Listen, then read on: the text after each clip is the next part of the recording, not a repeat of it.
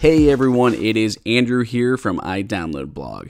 Today I'm going to highlight two new features for macOS Sierra and iOS 10.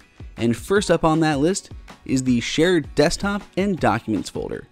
I'm going to open up System Preferences and head to the iCloud Settings pane. I'm then going to go to iCloud Drive and select Options. Inside of here, there is a new option on top called Desktop and Documents folders. I'm going to make sure that that is checked and that will enable my desktop and document folders to sync completely between my Mac here as well as other Macs or my iPhone and iPad running iOS 10.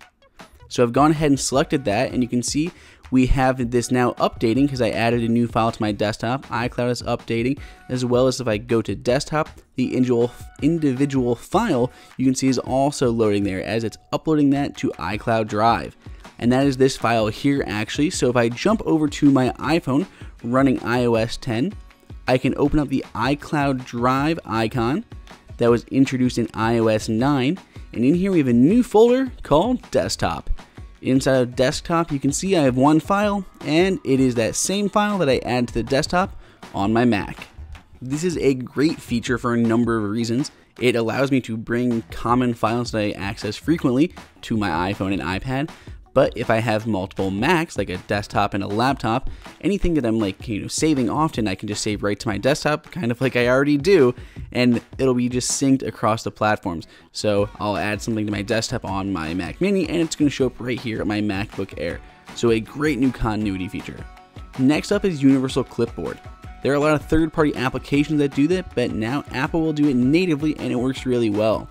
I simply have iCloud signed into on both my new devices here running macOS Sierra and iOS 10. I copied Apple on my Mac and I could paste it right away my iPhone.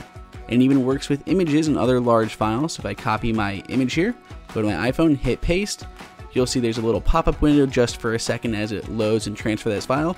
And there we go. I've easily just copied something on my Mac and pasted it on my iPhone. And of course it works in reverse as well.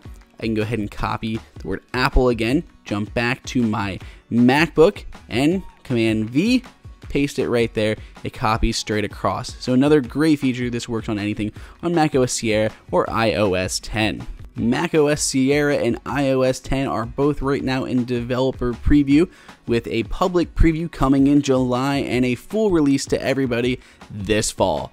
If you have any questions on any of these new features, let us know in the comments. Please go ahead and subscribe for all of our latest videos. And until next time, this is Andrew for iDownload Blog.